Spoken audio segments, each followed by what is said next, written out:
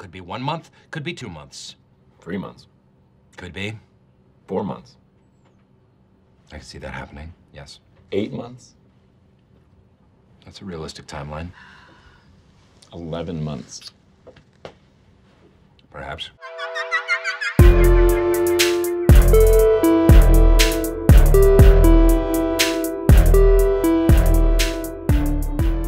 So, what we're going to talk about today is what I think is the most important idea for understanding biology um, in the last 50 years. So, um, if you know anything about the history of biology, what you'll see is that the nature of biological science really changed, um, made a radical shift in the 1950s. And we turned from just studying animals and their environments and stuff like that to really diving into things on the molecular level. And so today, we're going to discuss what's called the central dogma of biology.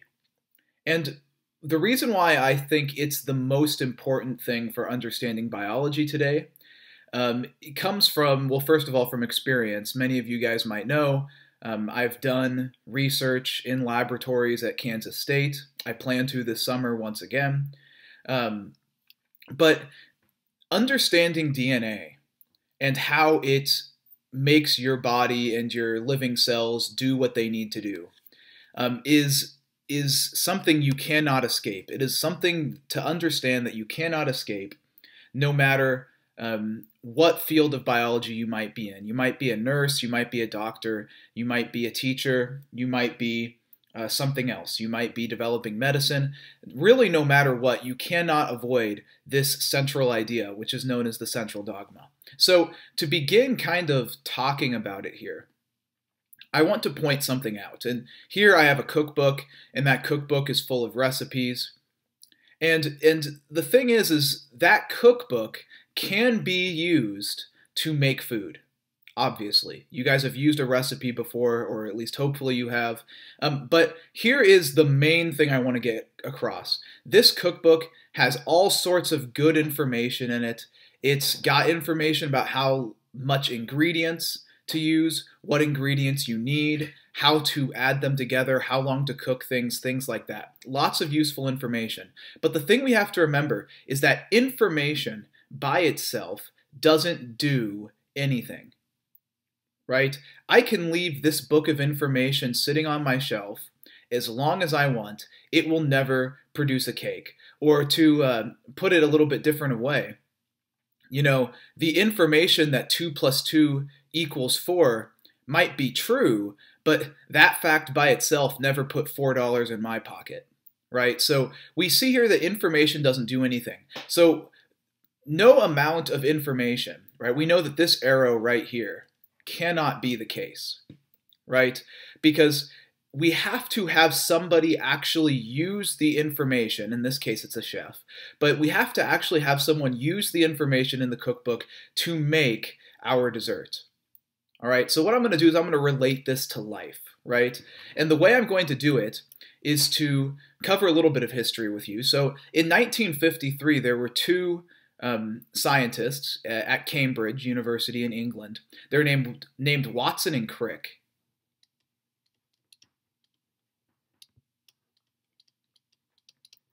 Their names were Watson and Crick, and um, the thing is, is that um, they were kind of unique scientists, and why I say that is because they didn't actually do any research of their own. They actually just looked at other people's research and came up with the structure of DNA. So they just made models and they figured out a way that worked, that explained all the data, and they discovered the structure of DNA. So by the time Watson and Crick did this, um, we were able to figure out that the information, the genetic information that's required uh, to make you you, that makes you unique, this was found in DNA. But just like the last slide I talked about, all the information in the DNA doesn't actually do anything, right?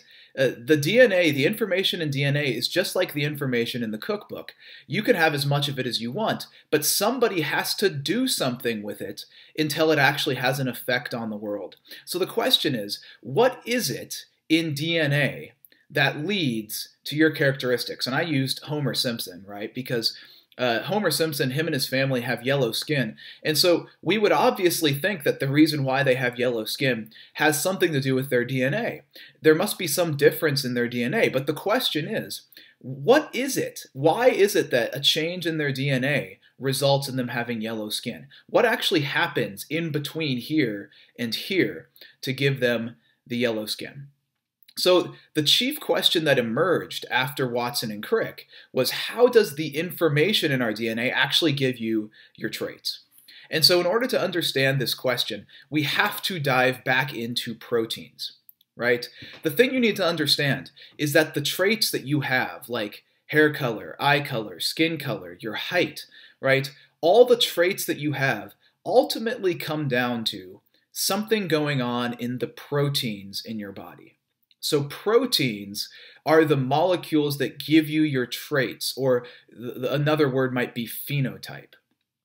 Now, we learned about proteins last semester, and so you might remember that proteins are long molecules and they're made up of monomers. And those, and those monomers, um, I'll just put your attention over here, those monomers are called amino acids, right? Each of these beads on the string are called amino acids. And when you link amino acids together, they create a protein. Now, what's going to happen though is that protein, based on the amino acids that are in here, is going to fold into a certain shape. And then that shape is going to impact what the protein does. So the things to remember from last semester is that the order of amino acids in this protein determines the protein shape. And the shape of the protein determines its function. I like to think of proteins like tools in a toolbox, right? The, the thing that gives a tool its function is its shape, right? Now, you could use a wrench as a hammer, but it wouldn't work as well. And it would be pretty difficult to use a hammer as a wrench, or use a wrench as a screwdriver, or a screwdriver as a tape measure, or anything like that. All of these tools have their specific function because they have a specific shape. And the same thing is true of proteins, right? Your proteins, the shape of your proteins is what determines their function. Now, if you have some sort of condition or some sort of disease, this might come down to a misshapen protein. And actually, almost all diseases, if they're genetic, come down to this that a protein in your body has gotten misshapen some way and no longer does the job that it used to do. So, what we need to figure out here, if we're going to answer the questions from before, is how is it that DNA gets converted into protein? How do we take the information, right? Just remember, you know, DNA is just information. DNA by itself doesn't do anything. How is it that we go to protein? And so protein is going to be our traits. Um, it's also going to give us our phenotypes, right? These are all going to come from our proteins. So how do our cells do this? That's a big question.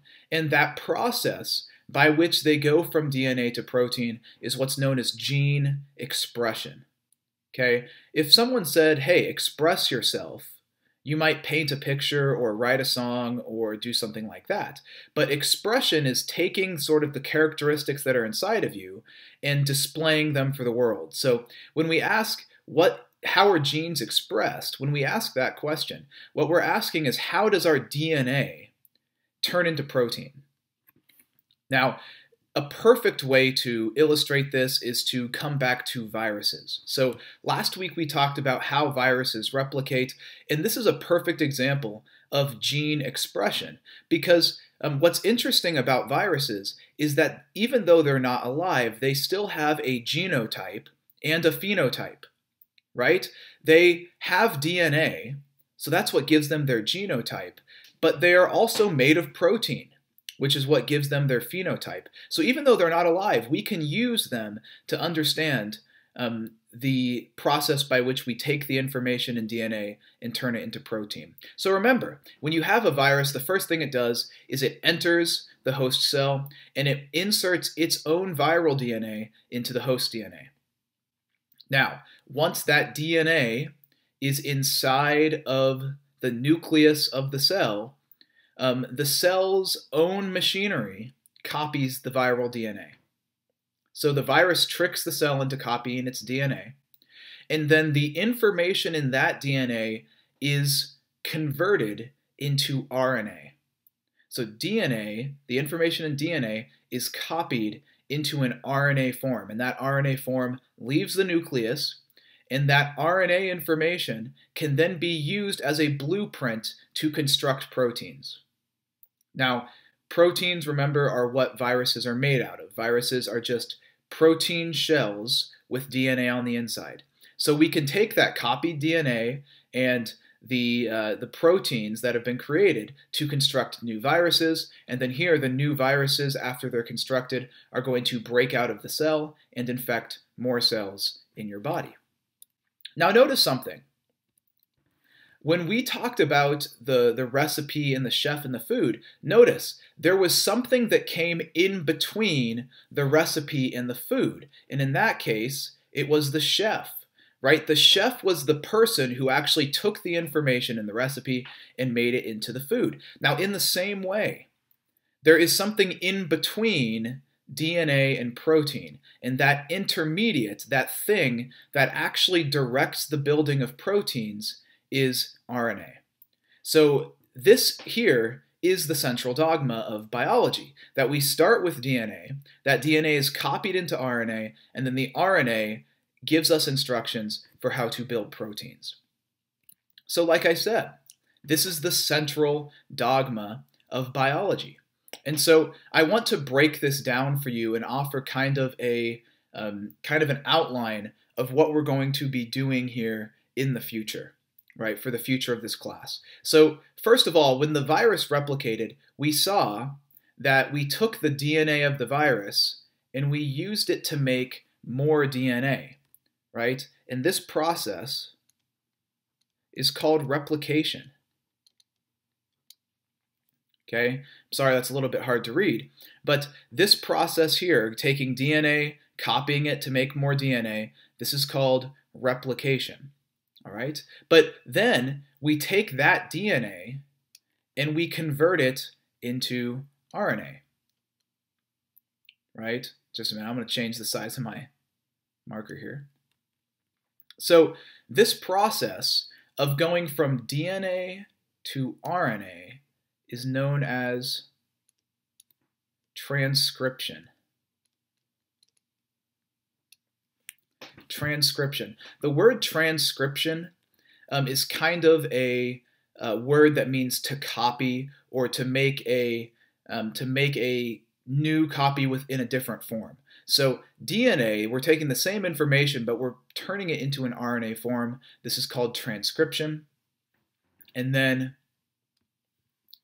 um, the next step, which goes from RNA to protein, that process is called translation. Because we're taking the information in RNA, which is its own kind of language, and we're converting it into protein, which is a different kind of molecular language that we're using here. So this process is called translation. So in future videos here, in future lessons, Mrs. Cook and I are going to break down the process of DNA replication, the process of transcription, and the process of translation. And like I said, this whole idea is really important because a lot of problems in biology, a lot of diseases, a lot of things like that can be explained in one of these three steps, right? If something goes wrong during replication, you're going to have a bad time. If something happens wrong during transcription, some bad things are going to happen to you. You might get a disease if there's a um, if there's a mistake between RNA and protein, so translation, that can result in genetic diseases. So all sorts of problems in medicine and biology, you in order to understand them, you have to understand the central dogma of biology, which is that DNA, the information in DNA is converted into RNA, and then that RNA is used to construct proteins.